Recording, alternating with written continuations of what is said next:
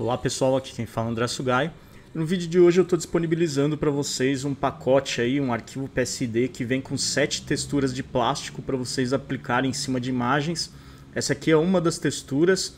Se vocês quiserem fazer o download desse, desse arquivo PSD, desse pacote aí, o link está na descrição do vídeo, é só clicar ali, vocês vão baixar um arquivinho zipado, depois é só descompactar no computador de vocês.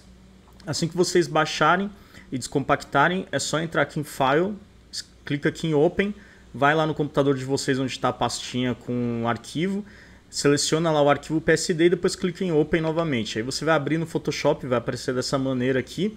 E aí é só entrar aqui no painel de Layers. Se vocês não encontrarem esse ícone aqui na barra lateral do Photoshop, é só entrar aqui em Window. E aí você escolhe a opção Layers. A hora que você fizer isso, vai abrir o painel de Layers aqui.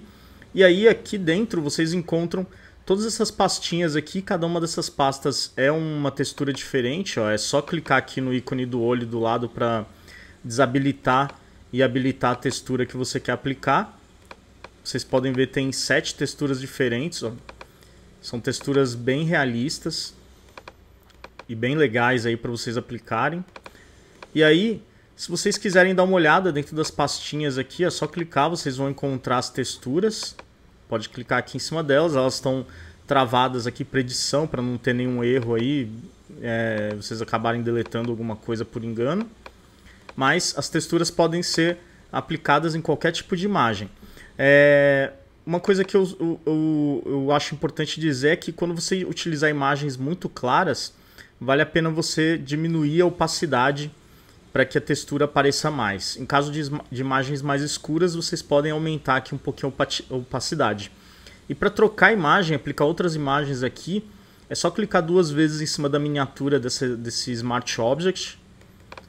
Você vai clicar aqui duas vezes, vai aparecer essa caixa, você clica em OK. E aí dentro do Smart Object você insere a, a imagem que você quiser. Então a gente entra aqui em File, escolhe a opção Place e aí a gente vai escolher uma outra imagem para colocar aqui dentro. Então vou selecionar aqui uma outra imagem que eu já separei. Esse Smart Object é, pode ser configurado aqui com qualquer tipo de imagem. Então a imagem que você quiser colocar aqui, você pode colocar. É lógico que tem que respeitar esse, é, a largura e a altura da, do, do Smart Object. Ele está no formato quadrado. Coloquei aqui essa imagem, vou ajustar aqui, dei um Enter para finalizar a transformação. Esperar que o Photoshop finalizar aqui a transformação dessa imagem. É uma imagem bem grande.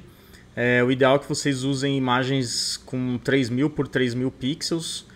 Vou fechar esse documento aqui. Na hora que eu fechar, o Photoshop pergunta se eu quero salvar. Eu clico aqui em Save e aguardo o Photoshop salvar esse documento e fazer o update aí do, do Smart Object. Como não tem nenhum efeito aplicado em cima desse Smart Object, ele é um pouquinho mais rápido aí de ser atualizado. Já atualizou aqui, ó, já aplicou minha imagem. E aí funciona da mesma maneira, eu posso ir fazendo o preview aqui dos das texturas de plástico e ver qual que fica melhor em cima da minha imagem. Então, galera, o vídeo de hoje era esse. Espero que vocês tenham gostado do arquivo, tenham gostado do vídeo. Se vocês curtiram, por favor, deixa aquele joinha aí, compartilha nas redes sociais, marquem os amigos, comentem. Se você não tiver inscrito ainda no nosso canal, clica no botãozinho vermelho aí para se inscrever. A gente tem vídeo todo dia aqui no canal. E se você estiver vendo esse vídeo pela nossa fanpage do Facebook, aparece lá no nosso canal no YouTube para conhecer. Tem mais de 1.100 vídeos publicados, muitas coisas bacanas aí. O foco do canal é Photoshop, é, todos os dias são dois vídeos que eu publico, um no começo da tarde, outro no final da tarde. No começo da tarde é sempre um vídeo focado para Photoshop, é um tutorial, uma dica, uma indicação de download como essa aqui. E no final da tarde é sempre uma indicação de um site interessante aí para quem trabalha com design.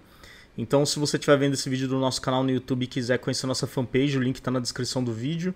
Na descrição do vídeo também tem um link para o nosso blog, para as nossas redes sociais e para a nossa página lá no Hotmart, onde a gente vende algumas actions para Photoshop. Então é isso aí, galera. Muito obrigado e até a próxima. O vídeo de hoje só foi possível graças ao apoio dessas pessoas que você está vendo aí na tela. Esses são os nossos apoiadores que fazem o projeto do Tutoriais Photoshop acontecer. Deixo aqui o meu muito obrigado e eterna gratidão a todos vocês. Se você quiser ser um dos nossos apoiadores, o link para o nosso apoia-se está aí na tela e também na descrição desse vídeo. Lá você pode conferir todos os benefícios e metas do Tutoriais Photoshop. Será um prazer ter você nessa lista super especial. Muito obrigado por assistir até aqui e nos vemos no próximo vídeo. Abraço!